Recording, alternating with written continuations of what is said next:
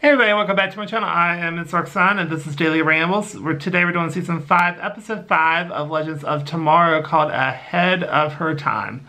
So we start off with the gang is um, worried about Constantine. Gary, sorry, Gary is worried about Constantine. And so he goes into the door and so, um, well he was trying to, so Gary did a spell and sees um, him being hurt through the peephole because managed to pop that out. And basically, um, let's see, uh, then the poltergeist escaped, which is also um, Astra's mother. And then we cut to where Sara creeps on Ava. and then she wants to put Ava in charge while she goes to Star City for a little bit and Ava kind of feels insecure about that. Then we cut to her Astra is playing poker, and she gets denied um, betting because um, she's losing money left, right, and center. She's like, we gotta stay in the black. And then we cut to where it's Constantine, Constantine versus the Poltergeist, and basically the girl, the Poltergeist name is Nat, and she wants to go down memory lane, so they do. And then we cut to where B gives Zari a tour and everyone's kind of annoyed with Ava. like, a lot. And because they, they try to do it, she tries to do like a business meeting type deal, and it doesn't work at all with them. Then Nora FaceTimes Ray and says, I love you, and so she said it back. Then Mick feels weird because he has a crush and he's not happy about it. So he's in love with the other girl. Oh god, what was her name? I want to say. Hang on, let me check what the freaking name was. Because I recently did it and you'll think I would remember it. Um, crap, where is it? Hmm. I'm in the episode, I see the episode. Where is the hell? Uh, da, da, da, Allie, that's what I thought it was, Allie. So he's not really happy about it. And so then we cut to where Ava, like I said, tries to meeting, the, but then the legends start to leave. And so then Ava scrambles and tries to find a mission, and she does. And it's in 1793. And so Zari wants to join, so Zari gets them into the party. And um, basically, it's in the French Revolution where basically all the royals are being off, but this is like the opposite. And we have Napoleon's there, which is not supposed to be there. He's supposed to be on some freaking island because of all the stuff that he did. And Marie Antoinette is there, and she's not beheaded yet. And she's like the life of the party. Then we cut to when Astra talks to the woman, and she wants to off Constantine. And then we go back to Constantine memory, where Nat and Constantine were best friends. Then in 1793, Napoleon is there, like I said. Then Nora slash Marie Antoinette was there. So basically, the woman that plays Nora was also playing Marie Antoinette, and they were very, very similar. And then we cut to where the guillotine uh, was there. They thought that was like the magic item, but no, it was just there to cut cake. Okay. And so then the charm, then they think charm is her superpower. And so they got her to make her jealous. Oh, there's an exclusive after party. Have you never heard of an after party? It's where all the best people go.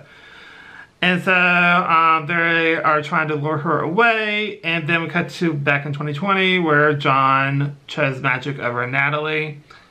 And then Gary got taken by the two little kids.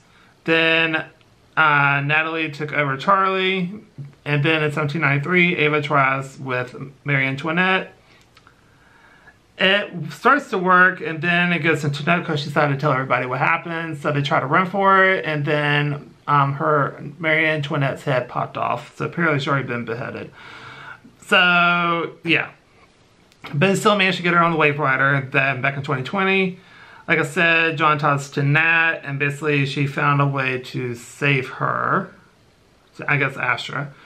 Then we cut to where Zari talks to Antoinette, and then uh, Then Zari looks into the future and sees her perfume failing, and then her career takes a severe nosedive.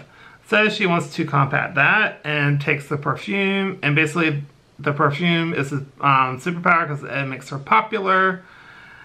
And then cut to where Marie Antoinette's body escaped, and then Zari's at the event in like 2043. And then um, a rapper named S'mores, which is like marshmallow, but lamer, honestly, uh, wants to propose to Zari as a media stunt. Then we cut to where Ray warns the team. And then Zari's at the red carpet and she does the perfume, the s'mores. Um, Larry proposes right then and there. He like he didn't intend to. He's like, screw it. Then um, she got all over her and she runs for because it's like a media frenzy now where everyone is chasing her.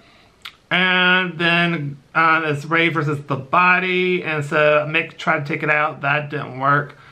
And um, now she has a flame gun is chasing them around. Then um, Ava dumps, um, uh, dumps sorry, on water. And the reason why it doesn't affect Ava at all or sorry, it's because of the perfume screwed up their nostrils and they can't smell anything. So that's why they were not even affected at the party and stuff. Because people were literally like going on permanent vacations from dancing too much because they didn't want to leave the party. Anyway, dumps her in water and then there then everything's fine. Then Ray got the body of Marie Antoinette and then back in 2020. Um, basically found out that Loom of Fate is real and that Charlie destroyed it but it's in pieces, kind of the death, the Stick of Destiny house broken into a billion pieces and I had to go find it. So it's probably what's going to be the theme of this season. Anyway, so, um, let's see, then Charlie, like I said, Charlie destroyed it. Then we cut towards Zari apologizes to B. And then Sara calls them and like, oh, everything's great, everything's fine, okay, bye. And then we cut to where Zari remembers when she ate the donut. She starts to remember everything that happened on the Waverider. Like, it's starting to come back to her. It's still in fragments, but she's starting to get multiple memories of stuff. Then she talks to Ava and basically saying that Zari has no true friends, but you got plus one with Ava, so they're friends now. And then Asher's friend is going is all starting off John. Then Charlie um, spread the pieces everywhere. Then John is going on a permanent vacation. And that's in the episode. Crazy episode. I really enjoyed it though. I give it an A plus because you get to see what happens when you look into the future and it follows your career and how messed up that can get. And just everything that's happening. And um, it definitely had its funny moment. I love how the show does have a perfect balance between funny and serious. Uh, I've always enjoyed that. The first season, no. the second and on, yes. So I really, really have enjoyed um, watching it. I thought it was great. And um, the fight scenes were good. And then just the whole...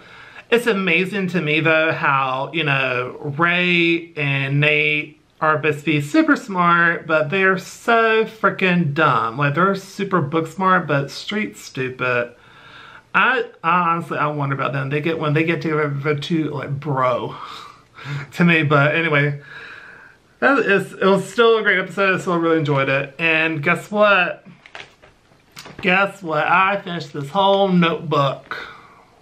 Finished it. And I've started a new three. so that's all the content I have coming on this channel. It's a freaking lot. So buckle up. anyway, that's going to do for this video. So like say please go to like, comment down below. Tell me what you think. Do you agree, disagree? Tell me your thoughts down below. Don't forget to subscribe because that helps out the channel a lot. And I'll see y'all in my next video. Bye everybody.